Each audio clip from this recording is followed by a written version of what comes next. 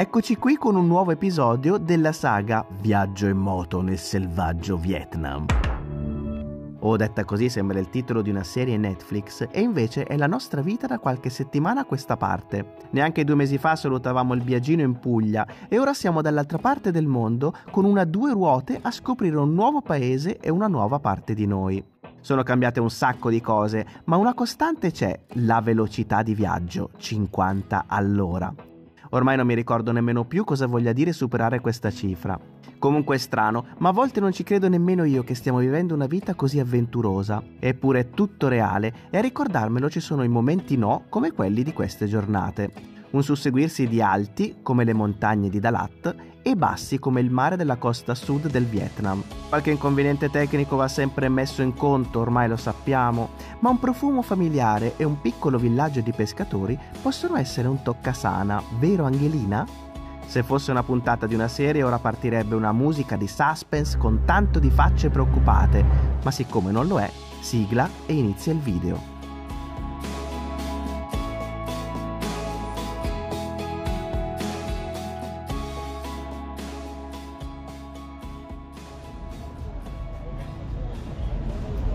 Buongiorno dal mercato di Dalat. Noi siamo al caffè stamattina Al 1989 Angela che mi aspetta per cominciare a fare colazione. Abbiamo preso un po' di roba stamattina. Anche questa bella torta. Buongiorno Angela. Buongiorno, le piccole gioie del mattino il caffè vietnamita, la torta alla banana, il panino con la frittata. Tra l'altro questo sembra anche shakerato. Sì, è buonissimo, l'ho già assaggiato. Stiamo preparando le ultime cose prima di partire, qui davanti a dove abbiamo appena preso il caffè. La mappa pronta col telefono che ci fa da navigatore. Very good. Lo zaino qua dietro è bello pronto, legato, fermo e adesso partiamo, dobbiamo solo mettere lo zaino nero davanti e si va. Oggi destinazione mare, si torna al mare. Ci infiliamo nella rotonda, allora, le regole ci sono ma sono poco chiare. Uno si approccia piano piano e segue un po' il flusso dei motorini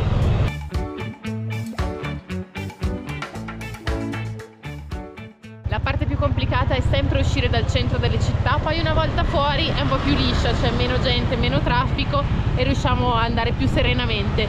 Stiamo salutando da lato, in questi giorni ci siamo rinfrescati e riposati per bene e quindi siamo pronti a tornare verso il caldo. Questa bolla di fresco sta per finire oggi. Comunque il panorama di fronte a noi vedete com'è abbastanza alpino diciamo e abbiamo appena passato tutte le valli si vede adesso dietro, queste, dietro questi alberi si vedono tutti, tutte le serre delle fragole di Dalat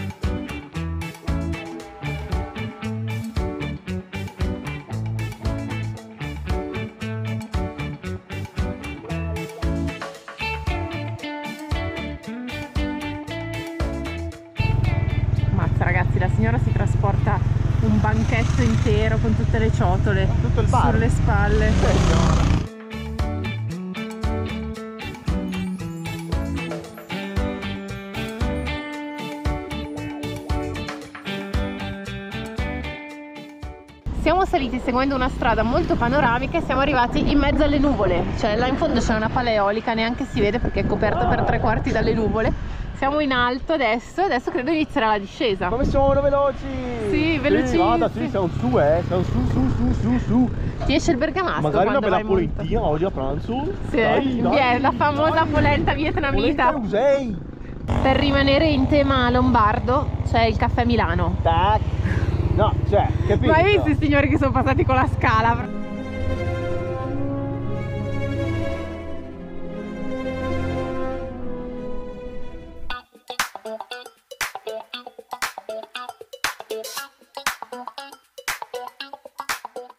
piccola sosta con vista noi stiamo andando in quella direzione guardate qua le nuvole siamo adesso in alto e adesso andremo a scendere da questo lato su questo versante della montagna. Ci sono un sacco di tornanti che ci porteranno proprio lì sotto ai piedi della montagna. E è impressionante come si vedano proprio le nuvole che si muovono super veloci di fronte a noi. Per la cronaca ci siamo fermati a casa di qualcuno. Cioè questo è un porticato della casa di qualcuno però ha una bella vista questa casa. Comunque lo stile è, è interessante perché si passa dalla muratura alle lamiere, al legno, Sì. questo è tutto legno. Questa è un po' casa coloniale alla fine. Sì, molto. Saluta! Telecamera? Telecamera. Ciao.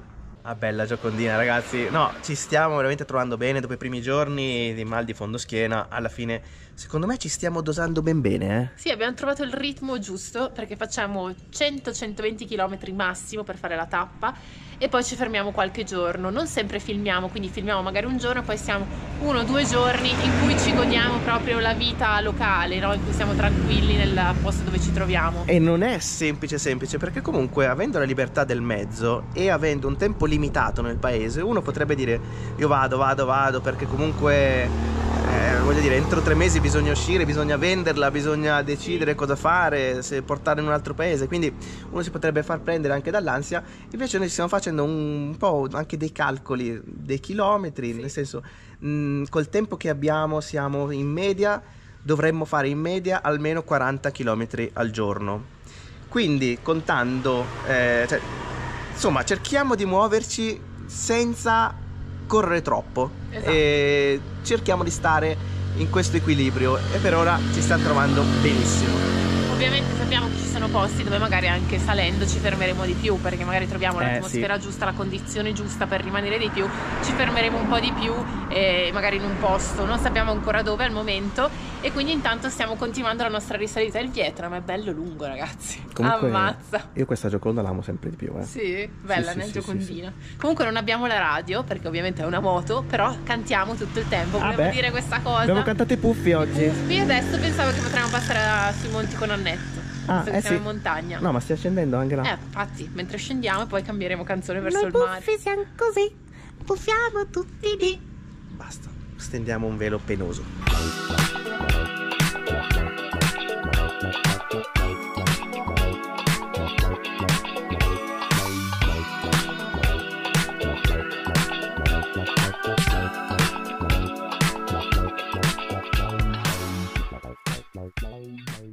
Sono queste bellissime stelle di Natale, tutte rosse, una macchia rossa. Questa è la vista che c'è su questa strada. E qui invece il caffè. Eccoci lì riflessi nello specchio, siamo stati attirati da queste due colonne con i dragoni e da una tigre dorata dietro. Sempre proprio Sobrio, direi, sobrio. raffinatezza. Sì, ma andiamo a vedere cosa c'è là dietro magari. Comitato di accoglienza. Ui, che succede? Veniamo State in pace, tranquilli. in pace. Mamma quanti sono? Ciao, ciao.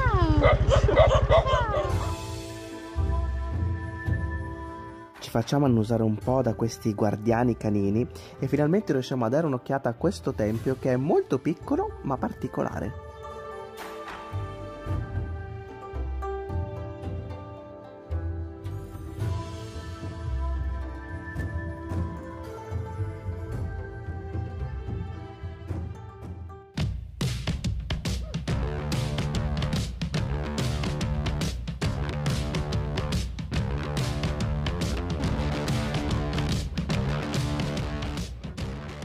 Piccola cascata con in mezzo la statua della Madonna. Questa è sicuramente ragazzi la strada più bella che abbiamo fatto finora qui in Vietnam. Senza dubbio stiamo facendo una discesa pazzesca, piena di tornanti, in mezzo a questa natura verdissima. Sì. Bella, bella, bella, proprio la più bella finora.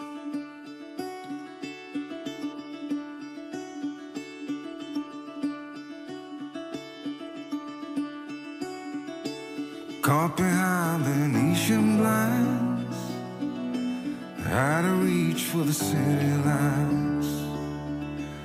This ain't where I belong. Hey, look at me, man, what I've become.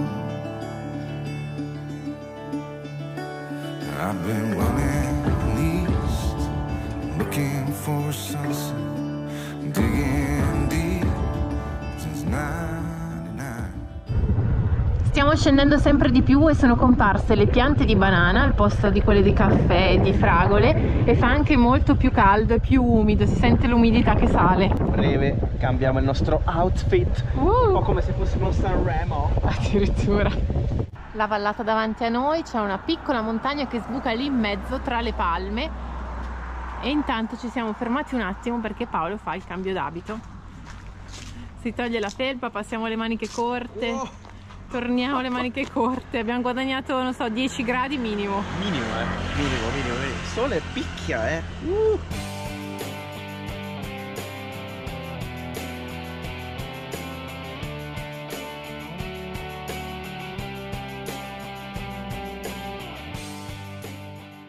Una bellissima scena di vita agricola, i bufali, le mucche, le banane e dietro le piantagioni di riso e tutto il riso lì steso ad asciugare. Un quadro questa immagine. Ci stiamo infilando in questo tempio attirati da queste statue. Guardate qua che roba! Che bello che compaiono quando meno te lo aspetti. All'improvviso, sti posti Facciamo sono un tour veloce. enormi. Guarda, lì ci sono, guarda, quelli che sono tutti monaci. Statue di monaci, qua la statua del Buddha gigantesca. No, ma è stranissimo questo il- posto. Guarda il signore che legge le sacre scritture seduto sull'elefante. Wow. Bello. Un po' pacchiano. Bello però. Ma la cosa più assurda è che compaiono dove ci sono questi paesini minuscoli, no? con le case così solo costruite attorno alla strada principale. Per cui tu vai, vedi tutti questi negozietti, tra l'altro tutti chiusi, e a un certo punto, bam, una statuona gigante così dorata.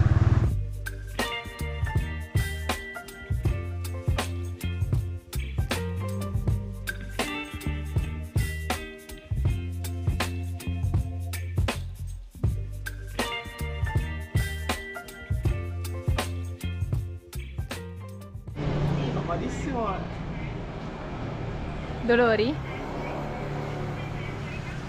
Vai, fai un po' di stretching qua. Ci siamo quasi, eh? mancano meno di 10 km, siamo arrivati. Il nostro bel riso con il tofu e le verdure quotidiano e ovviamente come al solito lavoro in corso in sottofondo. Sempre questi rumori di lavoro in corso.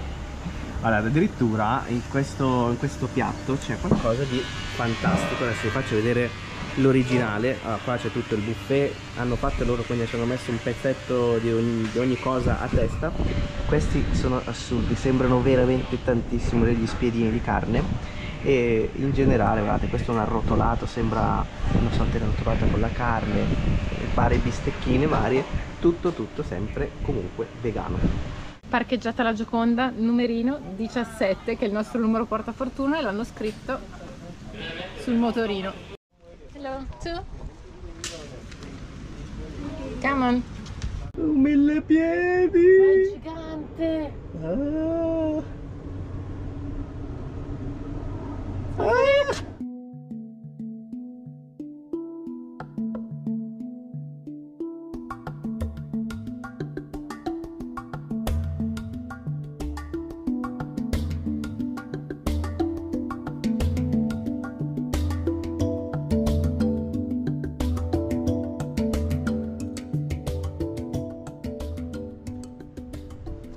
Che ingresso da lì ciacolò consumata. Questo è un posto da Liciacolò in effetti perché siamo saliti sulla collina e abbiamo trovato questo, sono gli insediamenti dei Ciampa. I Ciampa è, quella dei Ciampa è un'antica dinastia che si è insediata qui, quindi nel centro-sud Vietnam, già in tempi antichissimi, una dinastia che è durata moltissimo, ha visto il suo massimo splendore tra il VI e il XVI secolo. I primi Ciampa che sono arrivati qui sono- erano in realtà provenienti dal Borneo malese e si sono insediati in questa zona. La particolarità di questa popolazione è che ha subito una forte influenza dall'India, quindi erano principalmente induisti e i templi che ci sono, anche quello che c'è qui, sono dedicati al culto di Shiva, quindi all'interno si trova il Lingam che avevamo imparato a conoscere benissimo quando eravamo in India e anche Nandi che è appunto eh, il veicolo di Shiva, no? questa mucca.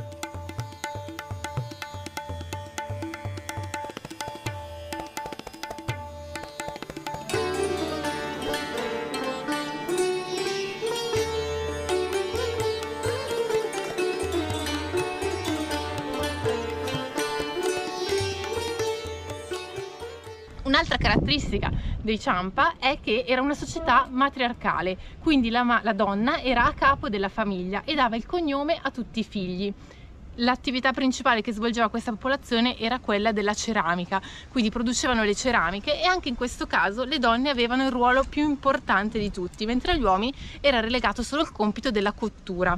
Questo avveniva però all'interno della famiglia, quindi l'importanza della donna era centrale all'interno della famiglia, perché poi in realtà i capi tribù erano sempre degli uomini.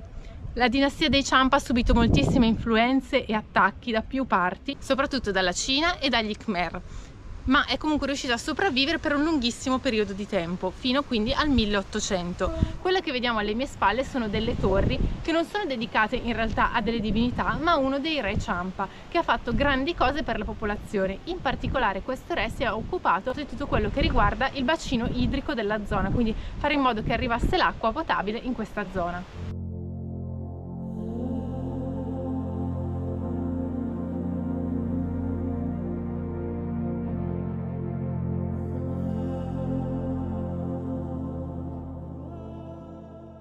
La giornata di oggi aiuta tantissimo perché il sole e l'azzurro del cielo fanno risaltare ancora di più questi mattoni rossi che sono proprio la particolarità di questo posto che tra l'altro ci fa fare anche un salto nello spazio perché assomiglia molto alla città di Bagan in Myanmar dove ci sono tutte queste pagode sparse nella giungla.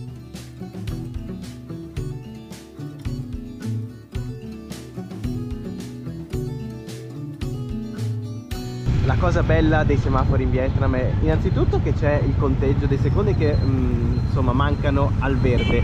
Ma poi soprattutto il fatto che come si vede sotto è sempre verde se si gira a destra e se si è delle moto. Quindi very very nice. Arrivati a destinazione nella città di Phang Rang eh... siamo ormai arrivati sulla costa ma oggi, per oggi non vedremo il mare, lo vedremo domani perché adesso siamo finiti, conclusi, sbatteriati, come si dice? Cotti. Esauriti. Sbatteriati. Questa però è la stanza, la stanza è bella, è bella. Adesso vi mando un po' d'amore e vi mando anche queste immagini. Questa, Questa è la stanza, eh, l'abbiamo già fatta diventare un campeggio peggio qua è tutto da asciugare sotto il ventilatore che dà una mano. Infatti qua ragazzi guarda qua facciamo vedere la praticità. Tac. Cioè noi ecco riusciamo un tocco di classe questo è proprio un, un, diciamo, un trucchetto per pochi attaccare il coso al ventilatore. Cioè guarda come sarebbe bella lei poverina. Poverina non è per niente male ma poi noi insomma ci mettiamo del nostro per renderla comunque un campeggio. Poi devo dire la doccia bijou eh. fantastica. Calda giusta. Un sacco di acqua di getto bello. Vabbè, comunque Vai. la chiudiamo qua. Adesso la chiuderò e poi ci vediamo domani con un bel lancio sul letto che vedrete. È bello morbido. E buongiorno da un posto completamente diverso rispetto a quello in cui ci siamo addormentati ieri sera. Siamo a Vin Hai che è questo bel paesino, un porticciolo che si trova sulla costa vietnamita. Abbiamo fatto una quarantina di chilometri verso nord oggi e abbiamo ripreso pochissimo perché qualcuno ha avuto qualche problemino oggi. Qualcuno. Presente. Qualcuno. Qualche defezione. Qualche defezioncina. Sì, ci chiedete spesso, ma non state mai male che mangiate di tutto, bevete di tutto? In genere no, stiamo bene però stamattina qualcosa è andato storto, non so se è stato il caffè, comunque eh. è venuto un mal di stomaco pazzesco, cioè noi siamo partiti e andava tutto bene, dopo il caffè partiamo tutti frizzanti con la caffeina in corpo, via si parte verso nord. A un certo punto, boh. A un certo punto, boh, mal Si blocca anche la serrot. fermati, gli ho detto fermati, tra l'altro ci siamo fermati accanto a delle saline bellissime, c'erano eh. questi chilometri e chilometri di saline Purtroppo c'è un sacco di vento, credo che si veda anche adesso perché eh, c'è tantissimo vento in questa zona e quindi non abbiamo potuto far volare il drone, però lo spettacolo lì era assicurato sì. perché dall'alto erano rosa, era bellissimo, si rifletteva il sole.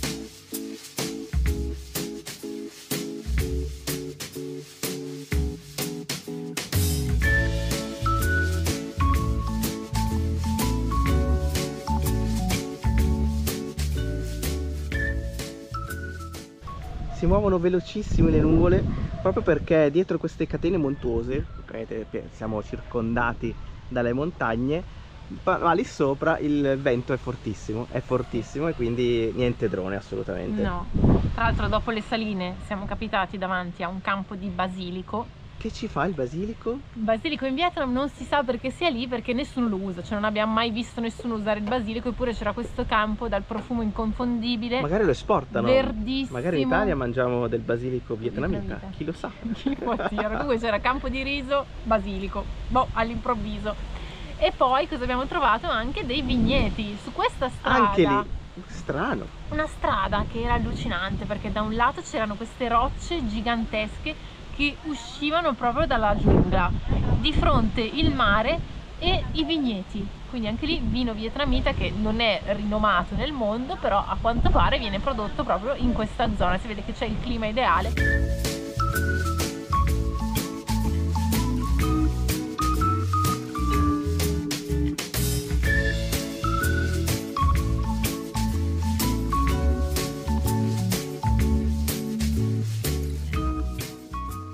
Poi sospinti dal vento, un vento bello forte, siamo, Siamo arrivati arrivati, qua. qua, Vin High.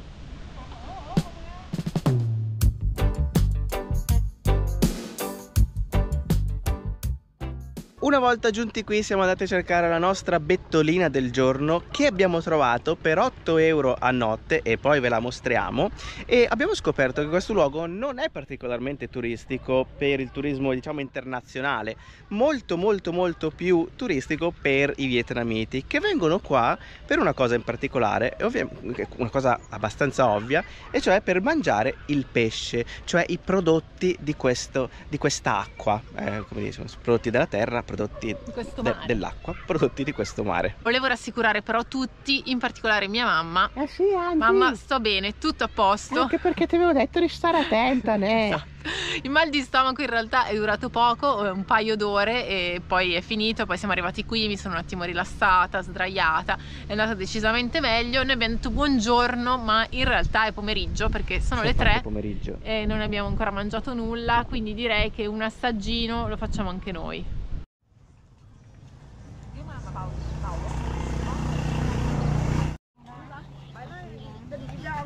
Bang Seo Bánh căn. Bang Can ok Đại khái là em nome diverso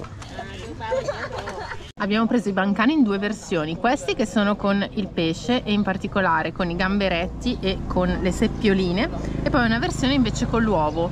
Allora si prende una tortina di riso fatta con la farina di riso e si intinge in questa salsina, poi si mangia. La realtà è che ne abbiamo già mangiati qualcuno e sono molto buoni, ma perché non sono sapori forti, sono molto delicati perché comunque è farina di riso che non è fritta, ma è cotta in quella piastra che ha appunto la forma eh, di queste cocottine piccoline e quindi fuori rimane bello croccante perché si forma la crosticina, tipo la crosticina che si forma della polenta quando fai la polenta sul paiolo e dentro invece rimane morbido, quindi molto buono e si sente bene il sapore del pesce che devo dire è veramente buono.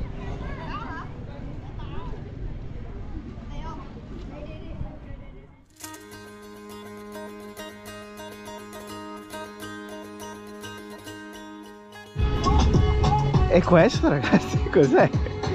Il biasino bar ambulante cocktail bar Più che biasino è un biagione questo perché è un Mitsubishi L300 Ma è bellissimo! Ma hai capito che roba? Per rosa salmone Organizzatissima la ragazza, sta tirando fuori tutti i bicchieri, gli sgabelli, tutto perfetto.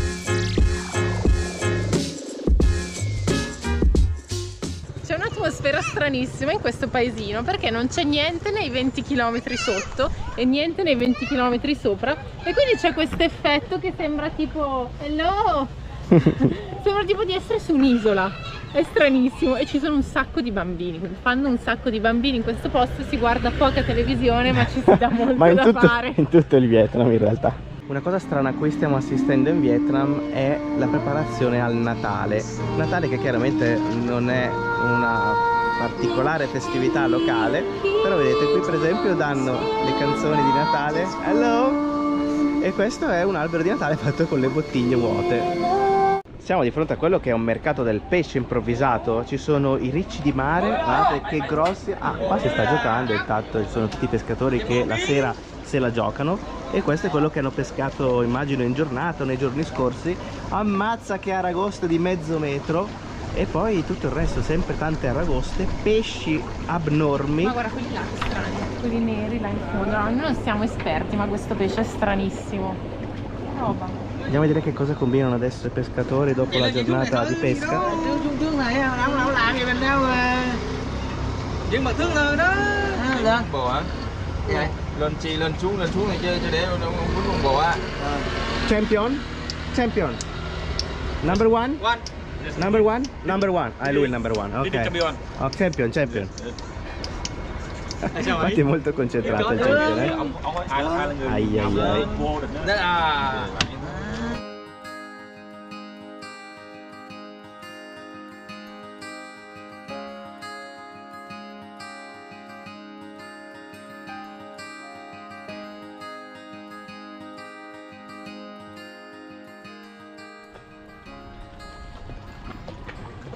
Siamo arrivati in fondo al molo che c'è da cui partono anche le barche che fanno alcuni tour in giornata.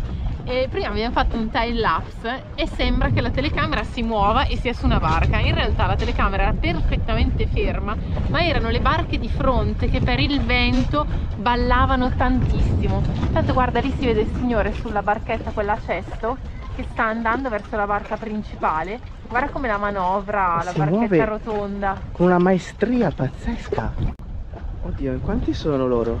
1, 2, 3, 4, 5, 6, 7, 8, 9. Almeno, almeno 10. Guardate il signore seduto lì in basso. Very good, very good. Hello.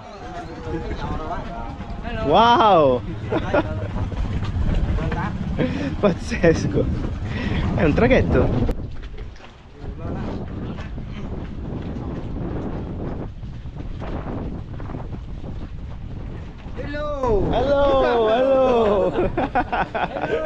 Hello. Hello. TV. What's some more? Mình mở lên mình. Television. Ah, ah.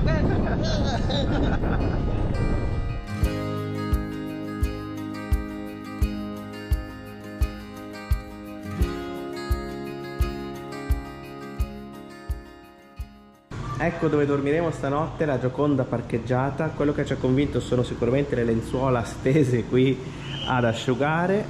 La nostra stanza è da questa parte. Qui c'è il corridoio che porta direttamente da Angela, che è già sdraiata. Spalmata. È bella bianca, pare pulita. Pare sì, aria condizionata a palla, già accesa, quindi si sta belli freschi. Semplice direi. Un Sì, posto semplice dove dormire, ci sono delle belle, piastrelle, tutto piastrellato. tante piastrelle, piacciono le come- piastrelle. Come un grande bagno fondamentalmente. E un bel quadro sullo sfondo, guarda là. Eh sì, vista mare e il bagno da questo lato. Siamo venuti a mangiare praticamente nell'unico posto aperto che è questo ristorante che fa soltanto pesce, quindi prenderemo un piatto di noodles con il pesce e un piatto di riso con il pesce. Qua dalla nostra parte, da questa parte abbiamo il porto che tra l'altro non è per niente illuminato perché tutte le barche sono tutte spente, quindi non si vede molto. Ma la cosa che abbiamo elaborato, un piano incredibile, abbiamo elaborato quando eravamo in camera per ovviare al problema del vento, no? E abbiamo creato una calza, una calza per la GoPro. E sembra funzionare, infatti adesso ancora c'è vento ma spero non si senta. Ora vi farò vedere col cellulare che cosa abbiamo combinato. Eccolo qua. Questo è il nuovo aggeggio calza. Vedete lì c'è un'anghela. Una calza tra l'altro bianca di quelle Era un terribili. mio calzino, volevo dire. Calzino di Angela. Non era terribile, era un calzino di tutto rispetto. che abbiamo tagliato, Paolo ha pure cucito tutto attorno per fargli il bordino e tenerlo bello fermo. Ma c'è anche la cucitura fatta bene, eh? cioè roba sera, roba sera ragazzi. E quindi l'audio finalmente dovrebbe essere ineccepibile. Speriamo. Io stenderei un velo pietoso su quello che è arrivato. Qua addirittura ragazzi sono noodles istantanei, cioè una roba che non si può vedere. Questo è Boh. il pesce, guarda qua. Pesce bu, vabbè. Vabbè. Niente ragazzi. È eh, così, è l'unico aperto, quindi eh, questo era il rischio, lo sapevamo già in realtà. Noi da questo banchetto imperdibile vi salutiamo. Se volete iscrivetevi al canale, noi ci vediamo come sempre lunedì, mercoledì e venerdì alle 13 sul canale. Vengo da Angela così facciamo un abbraccione di gruppo. Alla prossima! Alla prossima! Ciao ragazzi!